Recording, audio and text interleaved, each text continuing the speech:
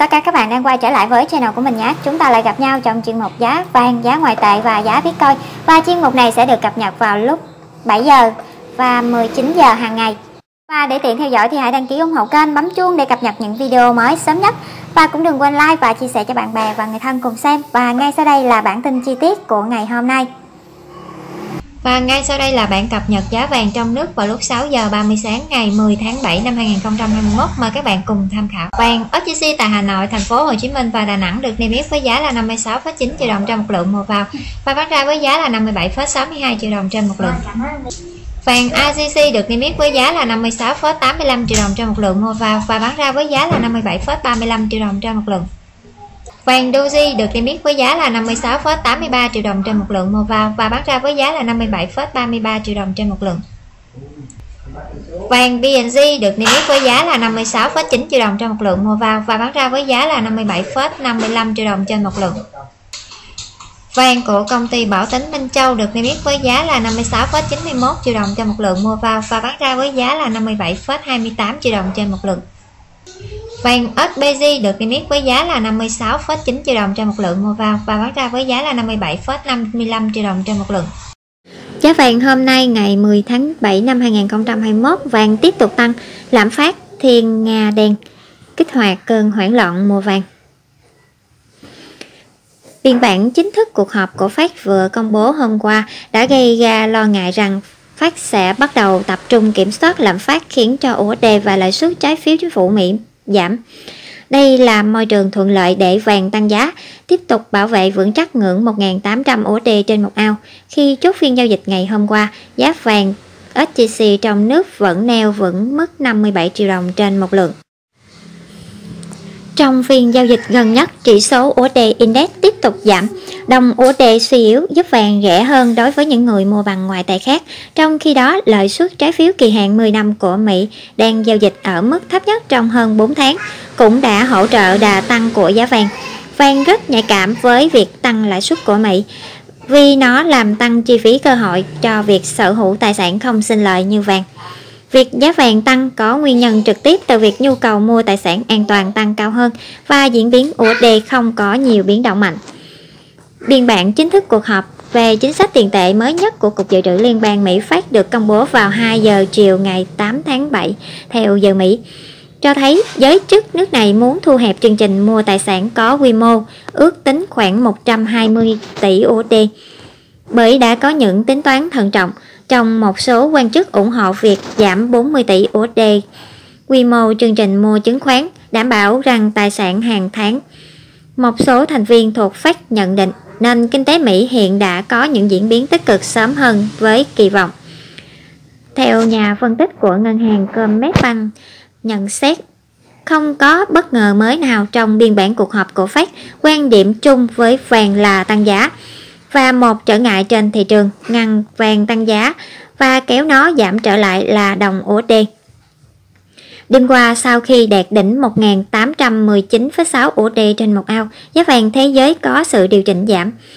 Trong phiên giao dịch vào sáng ngày hôm nay theo giờ Việt Nam, giá vàng thế giới niêm yết trên sàn điện tử Kiko đang tiếp tục neo ở ngưỡng 1.800 USD trên một ao và niêm yết tại mức 1.803 USD trên một ao. Trong khi đó, vàng SJC trong nước chốt phiên giao dịch vào ngày hôm qua tăng 50 đến 110 000 đồng trên một lượng tại hầu hết các hệ thống kinh doanh trên toàn quốc. Tại công ty vàng bạc đá quý Sài Gòn chi nhánh thành phố Hồ Chí Minh điều chỉnh SJC tăng 100.000 đồng trên một lượng ở chiều bán ra và 50.000 đồng trên một lượng ở chiều mua vào. Tại thị trường Hà Nội, vàng SJC tại hệ thống Bảo Tín Minh Châu tiếp đà đi lên và đồng loạt tăng từ 110.000 đồng trên một lượng cả hai chiều mua vào và bán ra.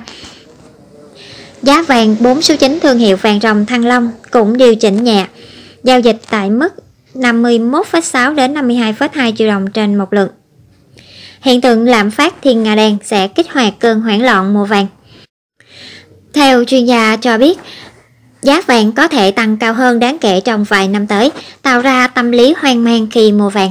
Chúng ta đã có mức lạm phát 5% và có thể nói rằng mức lạm phát 5% sẽ kéo dài từ 6 đến 12 tháng tới.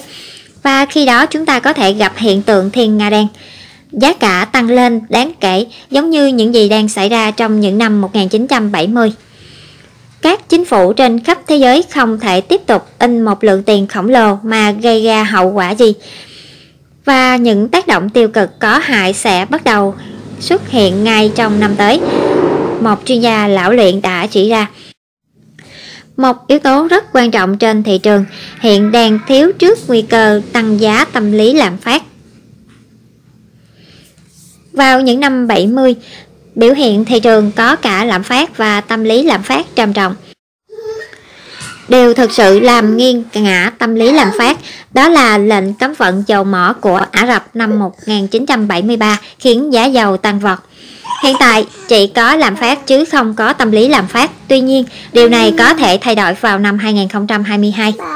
Có khả năng sẽ có một sự kiện kích hoạt tâm lý lạm phát trên thị trường. Giá dầu sẽ tăng vọt lên 200 USD trên một thùng chẳng hạn. Hay là một sự kiện thời tiết khiến giá ngũ cốc toàn cầu tăng vọt hoặc một cuộc khủng hoảng tiền tệ vân vân. Dù bằng cách nào, lạm phát sẽ là một trong những vấn đề lớn của thập kỷ mới này. Chuyên gia cũng cảnh báo tất cả những quan điểm cho rằng nhiều năm tạo ra tiền là không có hại sẽ được chứng minh đúng hay sai trong thập kỷ tới. Vị chuyên gia này cũng cho biết tôi sẽ không ngạc nhiên khi thấy dầu quay trở lại ở mức trên 100 USD trên một thùng vào thời điểm nào đó của năm 2021 và vào năm 2022 dầu có thể chứng kiến một đợt tăng đột biến lên từ 120 đến 160 USD trên một thùng. Đây chính là thời điểm vàng xuất hiện trở lại khi lạm phát cao hơn, được nhìn thấy các nhà đầu tư sẽ tìm kiếm sự bảo vệ an toàn. Điều đó chắc chắn sẽ khiến cho họ quay lại với vàng. Sự quay trở lại của lạm phát sẽ gây ra những hậu quả to lớn mà chúng tôi thậm chí còn không nghĩ tới. Nó sẽ làm gì đối với thị trường trái phiếu toàn cầu và có các quốc gia sẽ tài trợ cho tất cả các số nợ đó như thế nào? Nếu tất cả các thị trường trái phiếu đột ngột trở nên vô cùng yếu ớt, mọi người sẽ bắt đầu tìm kiếm sự bảo vệ. Tất cả chúng ta sẽ quay trở lại với vàng. Chúng ta vẫn biết rằng vàng sẽ là một loại tài sản mang sự bảo vệ an toàn. Điều đó sẽ tạo ra cơn hoảng loạn mua vàng trong tương lai. Mốc thời gian cho điều này là 2023 đến 2025. Và đến đây, bản tin xin được khép lại. Hẹn gặp lại các bạn ở bản tin tiếp theo.